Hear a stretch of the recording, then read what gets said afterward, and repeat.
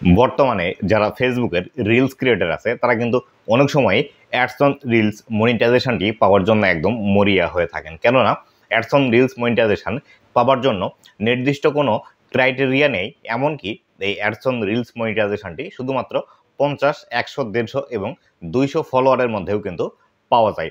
তাই অনেক যারা নতুন কন্টেন্ট ক্রিয়েটার আছে, তারা স্টার বা ইনস্টিম অ্যাড মনিটাইজেশনের পিছনে না ছুটে শুধুমাত্র অ্যাডস অন রিলস মনিটাইজেশনের পিছনে আপনারা ছুটে বেড়ান। তো বন্ধুরা, আজকের এই ভিডিওটিতে এই বিষয়টি সম্পর্কে বিস্তারিত আলোচনা করব কীভাবে আপনি মাত্র পাঁচটি শর্ত পূরণ করেই দ্রুত অ্যাডস অন রিলস মনিটাইজেশনটি আপনার ফেসবুক পেজের মধ্যে এনাবল করে নিতে পারবেন এবং অ্যাডস অন রিলস থেকে আপনিও টাকা ইনকাম করতে পারবেন। তো বন্ধুরা, ভিডিওটি খুবই ইনফরমেটিভ হতে চলেছে। অবশ্যই ভিডিওটি লাস্ট পর্যন্ত দেখুন।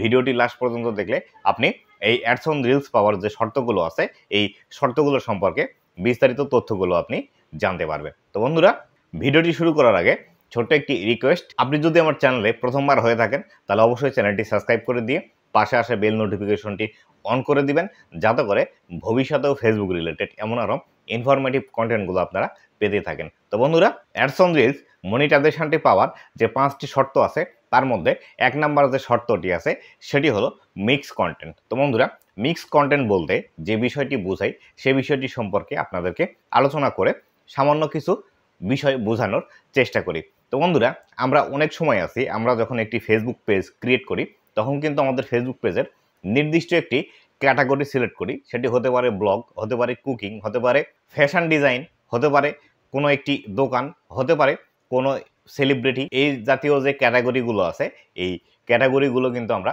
সিলেক্ট করে তারপরে একটি ফেসবুক পেজ ক্রিয়েট করি এবং সেই অনুযায়ী আমরা কিন্তু ভিডিওগুলো আমাদের ফেসবুক পেজের মধ্যে আপলোড করতে শুরু করি। কিন্তু দেখা গেল আমরা এক মাস, দেড় মাস, দুই মাস, তিন মাস যাওয়ার পর যখন আমরা দেখি আমাদের ভিডিওগুলোতে ভিউজ আসছে না, তখন কিন্তু আমরা এই ক্যাটাগরিগুলো চেঞ্জ করি বা আমরা প্রথমে যে পেজের ক্যাটাগরি নিয়ে কাজ শুরু করেছিলাম, সেই ক্যাটাগরি থেকে বের হয়ে এসে অন্য আরও একটি ক্যাটাগরির ভিডিওগুলো আমাদের ফেসবুক পেজের মধ্যে আপলোড করতে শুরু করি। পাশাপাশি দেখা গেল, যখন এই ভিডিওতেও আর ভিউজ আসছে না, তখন আরও অন্য একটি ক্যাটাগরি নিয়ে আমরা কিন্তু ভিডিও তৈরি করা শুরু করে দিই। যার ফলশ্রুতিতে একই পেজের মধ্যে বিভিন্ন ধরনের যে ভিডিওগুলো আছে, সেই ভিডিওগুলো কিন্তু আমরা আপলোড করতে থাকি।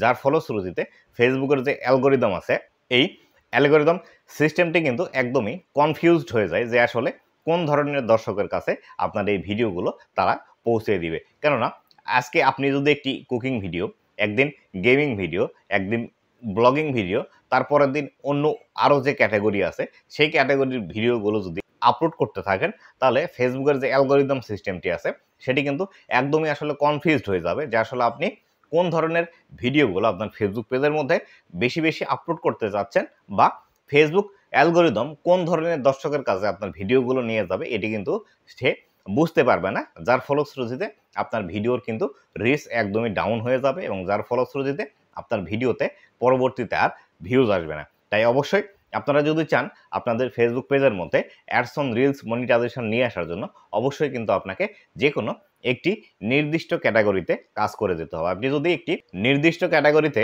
কাজ করেন, তাহলে অবশ্যই আপনি ফেসবুকের মধ্যে অ্যাডস অন রিলস মনিটাইজেশনটি দ্রুত পেয়ে যাবেন। দুই নাম্বার যে বিষয়টি আছে, সেটি হলো একই পরিমাণে ভিডিও প্রতিদিন আপলোড করা। আমরা অনেকেই আছি যারা নতুন ফেসবুকের মধ্যে কাজ শুরু করি, প্রথম দিকে আমাদের খুব ভিতরে মোটিভেশন থাকে বা খুব জোশ থাকে যে আসলে আমরা ফেসবুকের মধ্যে এসে দুই চার দিনের মধ্যেই ফেসবুকের মধ্যে মনিটাইজেশন অন করব এবং এখান থেকে ইনকাম জেনারেট করব, যার ফলশ্রুতিতে আমরা কিন্তু ফেসবুকের মধ্যে প্রথম দিকে প্রতিদিন চারটি, পাঁচটি, আটটি, দশটি করে ভিডিও কিন্তু ফেসবুকের মধ্যে পাবলিশ করা শুরু করে দিই। কিন্তু এই যে ধারাবাহিকতাটাই থাকে, এই ধারাবাহিকতা কিন্তু আমরা বজায় রেখে প্রতিনিয়ত ভিডিওগুলো ফেসবুকের মধ্যে আপলোড করতে পারি না। যার ফলশ্রুতিতে যেটি হয়, সেটি হলো আপনি যখন প্রথম অবস্থায় বেশি বেশি ভিডিও আপনার ফেসবুক পেজের মধ্যে আপলোড করা শুরু করবেন ফেসবুক অ্যালগোরিদমের কাছে এই ইনফরমেশনগুলো কিন্তু থেকে যায়, যার আসলে আপনি বেশি বেশি ভিডিও প্রথম অবস্থায় আপলোড করেছেন। এবং কিছুদিন যাওয়ার পর যখন আপনি ভিডিও আপলোডের সংখ্যা কমিয়ে দিবেন, এর ফলশ্রুতিতে ফেসবুক কিন্তু আপনার রিচ দিন দিন কমাতে শুরু করবে। কেননা, যখন দেখবে আপনি আগের মতো আর ফেসবুকে কাজ করছেন না, তখন কিন্তু ফেসবুক অটোমেটিক্যালি ধরে নেবে যে আপনি আর ফেসবুকের মধ্যে কাজ করবেন না, অথবা আপনি ফেসবুক ছাড়া অন্য কোনো প্ল্যাটফর্মে কাজ করছেন, যার ফলশ্রুতিতে আপনার রিস্ক কিন্তু ডাউন করে দিবে। তাই অবশ্যই আপনি নতুন একটি ফেসবুক পেজ ক্রিয়েট করার পর যে কোয়ান্টিটিতে বা যে পরিমাণে আপনি পোস্ট করছিলেন আপনার রিলসগুলো অবশ্যই সেইভাবেই কিন্তু আপনাকে রিলস তৈরি করতে হবে বা পোস্ট করতে হবে। আপনি যদি প্রতিদিন একটি করে রিলস ভিডিও তৈরি করেন, তাহলে সেই ক্ষেত্রে অবশ্যই প্রতিদিন একটি করে দিতে হবে। আপনি যদি প্রতিদিন দুইটি করে দেন, তাহলে অবশ্যই আপনাকে প্রতিদিন দুইটি করে দিতে হবে। অথবা আপনি যদি প্রতিদিন তিনটি, চারটি, পাঁচটি করে আপলোড দেওয়ার সক্ষমতা আপনার থেকে থাকে, তাহলে অবশ্যই সেইভাবেই ভিডিওগুলো আপনাকে ফেসবুকের মধ্যে পাবলিশ করতে হবে। কখনোই আজকে দুইটি, কালকে তিনটি, একদিন একটি, একদিন দিলেন না, এভাবে কিন্তু ফেসবুকের মধ্যে আপনাকে রিলসগুলো আপলোড করা যাবে না। এভাবে যদি রিলস আপলোড করেন, তাহলে কখনোই ফেসবুকের মধ্যে অ্যাডস অন রিলস মনিটাইজেশনটি আপনি কিন্তু অন করাতে পারবেন না। তিন নাম্বার যে বিষয়টি আছে, সেটি হলো একই ভিডিও বারবার আপলোড করা।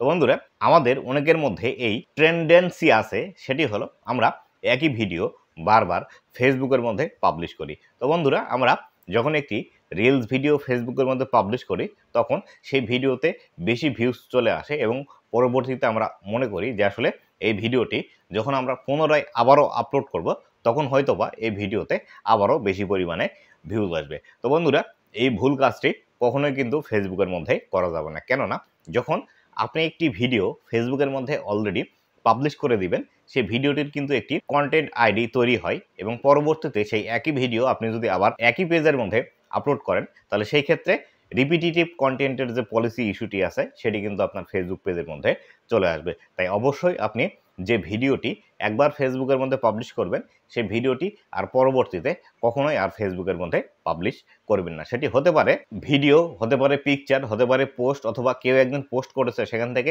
কপি করে নিয়ে এসে আপনি সেই পোস্টটি ফেসবুকের মধ্যে আবার করছেন, এই ভুল কাজটি কখনোই করবেন না। এই ভুল কাজটি করলে আপনার ফেসবুক পেজের মধ্যে কখনোই মনিটাইজেশন আসবে না।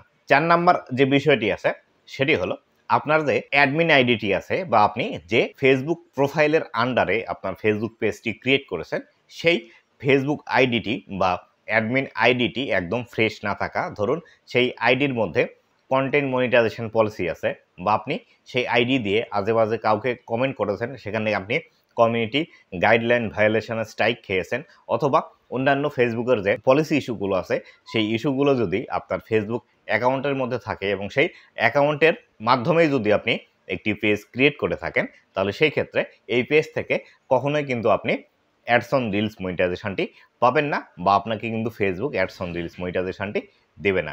তাই অবশ্যই আপনার ফেসবুক পেজের যে অ্যাডমিন আইডিটি আছে, অবশ্যই সেই অ্যাডমিন আইডিটি একদমই ফ্রেশ রাখার চেষ্টা করবেন, যাতে করে ভবিষ্যতে আপনি খুবই দ্রুততার সাথে মনিটাইজেশন পেয়ে যান।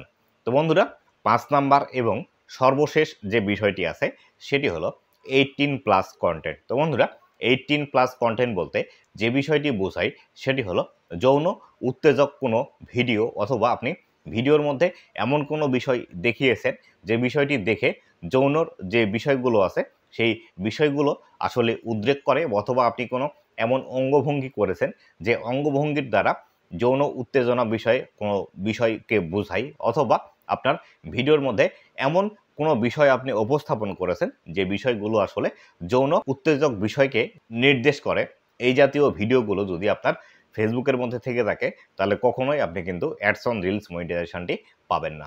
অবশ্যই এই বিষয়গুলো খেয়াল রাখবেন, এই বিষয়গুলো খেয়াল রেখে তারপরে যদি আপনি ভিডিওগুলো তৈরি করেন, তবে কিন্তু আপনি ফেসবুকের মধ্যে অ্যাডস অন রিলস মনিটাইজেশনটি পাবেন, নতুবা কিন্তু অ্যাডস অন রিলস মনিটাইজেশনটি পাবেন না। তো বন্ধুরা, এই ছিল আজকের ভিডিওটি। ভিডিওটি কেমন লেগেছে অবশ্যই জানাবেন এবং ভবিষ্যতে ফেসবুক রিলেটেড এমন আরও ইনফরমেটিভ কন্টেন্টগুলো পাওয়ার জন্য অবশ্যই আমার ফেসবুক পেজ এবং ইউটিউব চ্যানেলের সাথেই থাকবেন। ধন্যবাদ সবাইকে।